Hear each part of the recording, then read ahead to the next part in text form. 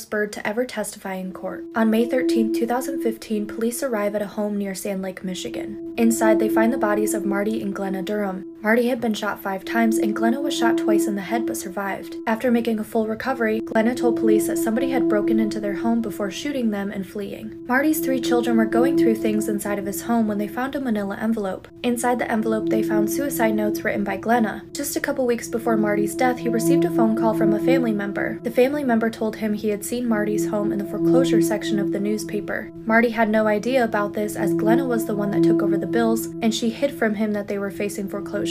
Even after finding the suicide notes, Glenna still proclaimed she was innocent. That is, until Marty's parrot began reenacting the crime scene. The new owner noticed him arguing in two different voices, and the last thing he said was, Glenna was put on trial for the attempted murder suicide of Marty Duram, and Marty's parrot was the key witness. It's time I tell you guys about the theory that Harry and Taylor committed vehicle manslaughter.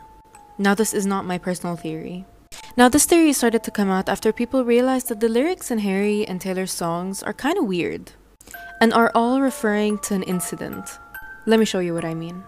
In style, she says, You come and pick me up, no headlights. Long drive could end up in burning flames or paradise, which people tend to think it means they got into an accident because of his bad driving. Then in I Know Places, it says, Baby, I know places we won't be found, and they'll be chasing their tails to trying to track us down, which means they probably hit someone. And she knows a place where they can hide the body where no one would find it. And then in Out of the Woods, it says, Are we out of the woods yet? Are we in the clear yet? Which means the body was hidden in the woods. And she's wondering if they're clear, if no one suspects them. And then comes Sign of the Times. Now I know it has a back meaning, but the lyrics, We gotta get away from here, could be referring to the incident. Now there's one more song to come, but this incident has been thought to happen in 2012 when they were stolen item. And there is kind of physical proof that it happened. So in 2012, they went on a skiing trip. Harry came back with a chin injury. As you can see, he was trying his best to hide it. But here's a picture of his chin taped up. Now, again, people tend to think that this happened during the car accident that led to the manslaughter. Now, apparently, Taylor's album Evermore came out after these rumors started to rise. And in that album, she has a song called Nobody, No Crime. Now, the lyrics of this song are very sketchy.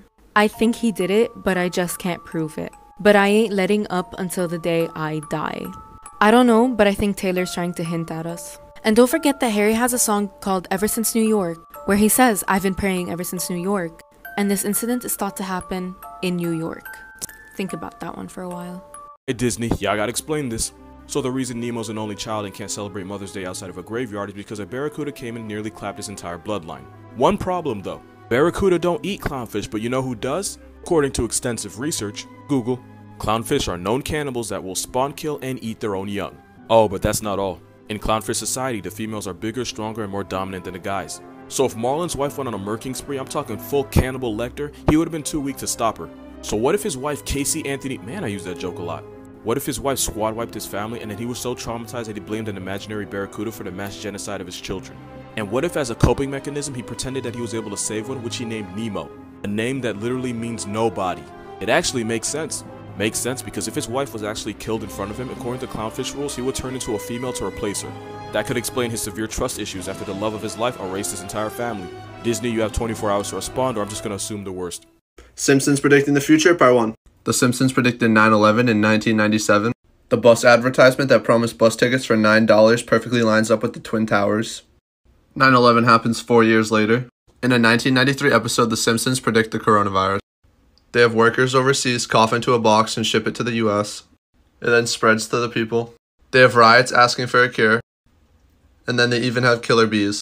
And now in 2020, the coronavirus is a real thing. And the killer bees, aka murder hornets, are now in the US. Five what if theories to keep you up at night. What if everything behind you disappears, but when you look back, it reappears? With no eyes, we can't see color, right? So what if there's a whole aspect to life that we're missing because we don't have the right organ to detect it? What if 1111 actually works? There's just someone wishing every time that our wishes don't come true. What if the meteor that killed the dinosaurs was actually a UFO? And we are the aliens. And finally, what if every time you think you hear your name being called, it's actually just your family trying to wake you up from a coma? Just something to think about with these So y'all trying to hear the thought that kept me up last night? So just so y'all know, there's never once been a completed T-Rex skeleton found. What about the one in Michigan with the T-Rex locked in battle with the Triceratops? That's not actually true. It wasn't even in Michigan. It wasn't a fucking T-Rex. But I digress. I don't have time for that argument. The point is, there's never been a completed T-Rex skeleton found. Which means they've made most of this animal up. One complete item that they have consistently found is the skull.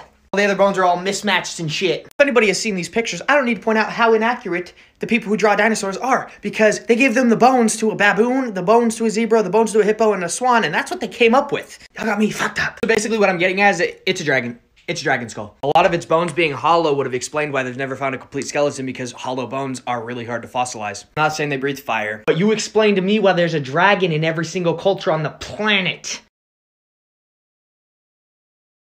The wildest what if theories. What if, when someone's name randomly pops up in your mind, it's because they are actually thinking about you? What if the reason we haven't gotten visits from the future is because we have no future? What if, when you sometimes feel sad for no reason, it's because someone has died with no one to grieve for them? What if Mars has water on it because we used to live there and we messed up the climate so badly that we had to send an escape pod to Earth with only Adam and Eve in it, and the pod was the asteroid that wiped out dinosaurs.